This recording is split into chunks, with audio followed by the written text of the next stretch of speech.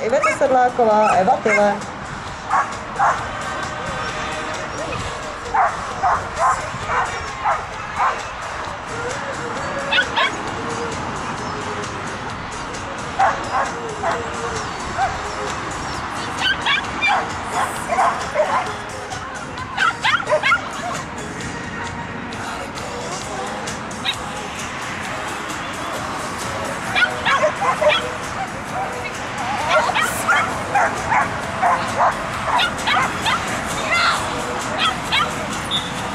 Diskvalifikace.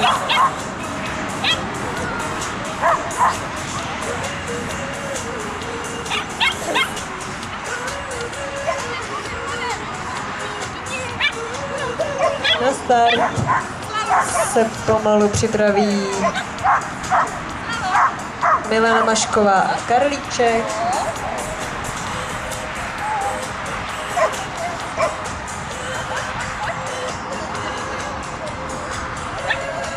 Na start Milena Mašková a Karlíček, připraví se Iveta Sedláková, Eva Tyle a Vladimír Tyle.